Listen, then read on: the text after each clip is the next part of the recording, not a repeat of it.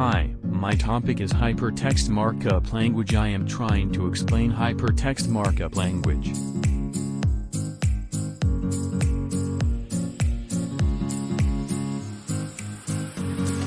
Introduction to HTML HTML stands for Hypertext Markup Language. HTML is used to create web pages that are displayed by web browsers mainly on internet.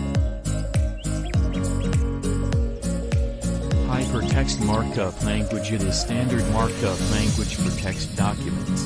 It allows the user to create structured content by adding headings, paragraphs, links, block quotes and other media. It takes advantage of simple code structures called tags and attributes to achieve formatting, graphic and navigation effects on web pages.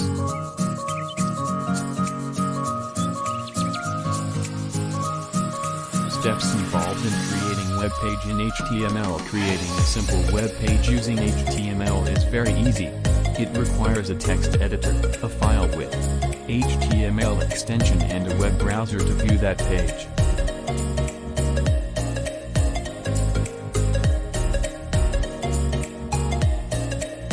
Step 1. Text editor Start by simply creating a new blank in a text editor of your choice. A simple text editor like Notepad can be used to start coding HTML for a web page.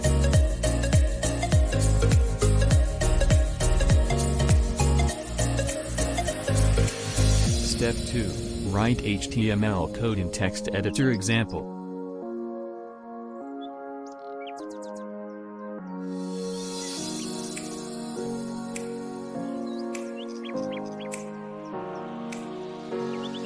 Step 3. Save HTML page Go to File menu and click on Save. Make sure to provide HTML or HTML extension for the file being saved. This will save the document as a web page instead of a plain text file.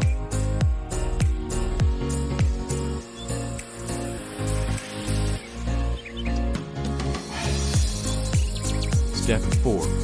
View HTML page in browser Open the saved HTML file in your default web browser. The web browser will automatically translate HTML codes to correctly display the web page.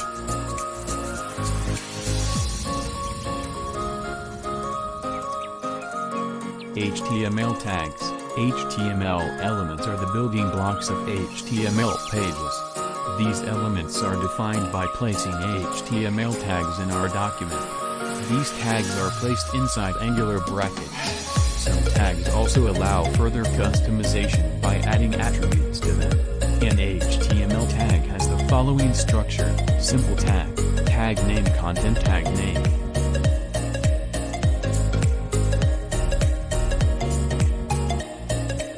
Doctype HTML is Becky the HTML version used browsers can show the web page according to HTML standards. All HTML documents must start with this tag.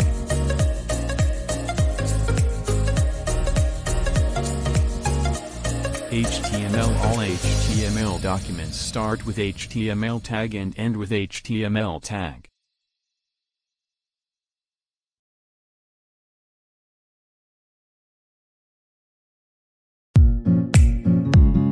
Tag it is used to define additional information about the web page. It contains a set of tags such as title tag, meta tag, style tag, script tag etc. Body tag The main content of the web page is contained between body and body tag.